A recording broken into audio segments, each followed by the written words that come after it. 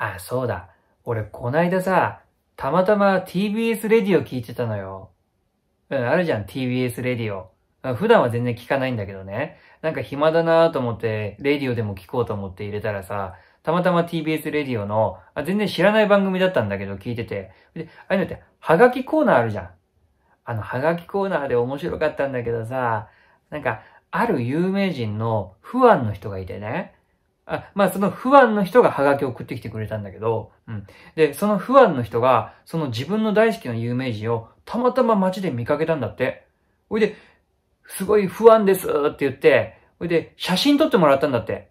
なんか自分のキャメラかなんかで。今携帯にもキャメラってついてるよね。で、キャメラでさ、撮ってもらってありがとうございましたつって。で、その不安の人やっぱ嬉しくてさ、それを Twitter に載っけたんだって。今 Twitter に写真も載っけれんでしょ？ね。だから Twitter に写真載っけてさ、そしたらなんと、あの、キャメラで撮った時は全然気づかなかったんだけど、その後ろの方に、ラグビーのチームの選手が映ってたんだって。なんかそのラグビーのチームの選手は有名な人らしくてさ。で、その人の上に看板があって、それが家庭教師のトライの看板だったんだって。ラグビーのチームの選手の上にトライって書いてあってさ。それが面白いって言って、そのツイートがバズるっていうの？なんかいろんな人にグッドボタンとかリツイートされてバズったらしいのよ。ね？で、そのメインで映ってる、その有名人っていうのが、あの、芸人の達郎っていう人らしいんだけど、で、全然知らないんだけど、で、その達郎っていう人は全然売れてないから、ツイートでバズったことがなくて、初めてそのツイートでバズったんだって。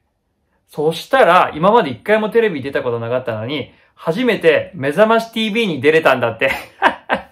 なんかほっこりしていい話だよね。それも笑っちゃってさ。えー、ちなみにその後嬉しくて、親戚中に DVD 焼いて回したらしいよ。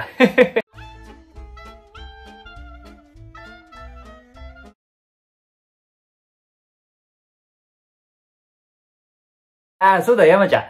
今度孫にさ、あの、ディズニーランドだからディズニーシーに連れてってほしいって言われてんだけど、そういうのわかるかい？わかんないよね。いや、俺もさ、えー、ドナルド・ダックスぐらいしか知らなくてね。